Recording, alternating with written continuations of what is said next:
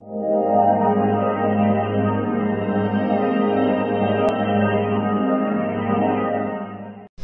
kính chào quý vị và các bạn. Hôm nay tôi xin chia sẻ tới quý vị và các bạn quy trình bảo dưỡng tủ điện bể bơm nước thải. Trước khi bảo dưỡng ta treo biển cảnh báo.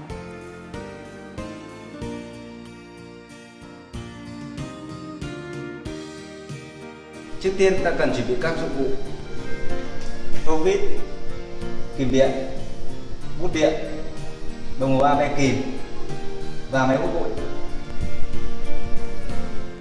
Sau đó ta kiểm tra tình trạng thân vỏ tủ, các đèn bao pha, nút ấn và còi.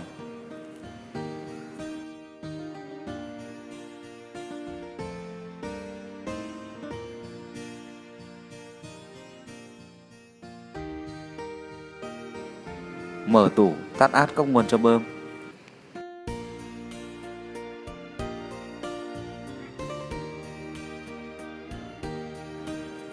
Bước tiếp theo ta dùng tô vít siết lại các tiết điểm của automat, khởi động từ sao cho chắc chắn.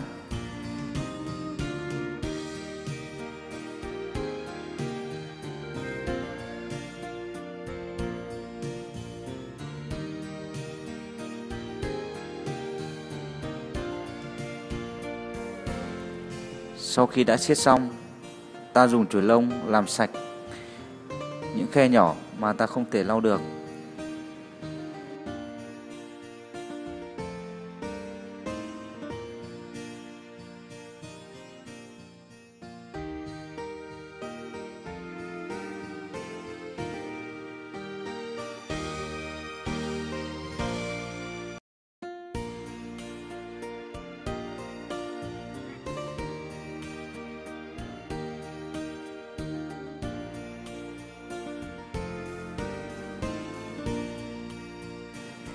Ta dùng dây thít đi lại dây trong tủ điện cho gọn gàng.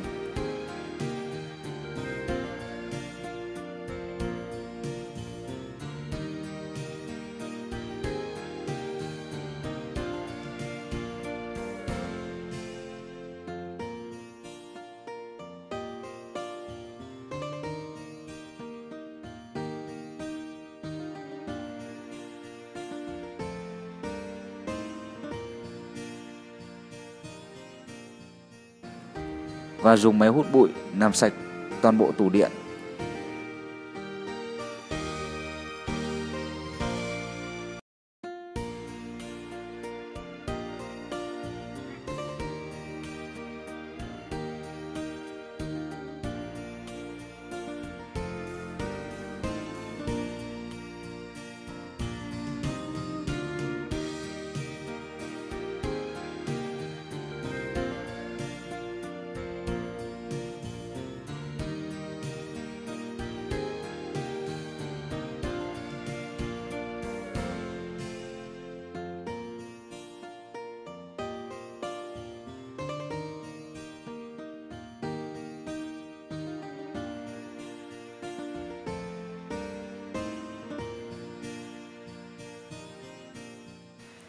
Sau khi vệ sinh và sắp xếp gọn gàng bên trong tủ,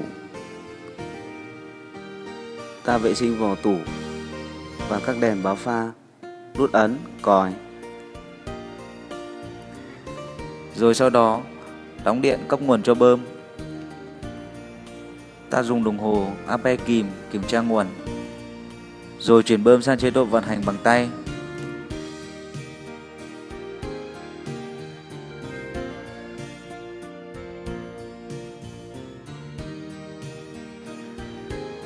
ta đo dòng khi bơm hoạt động.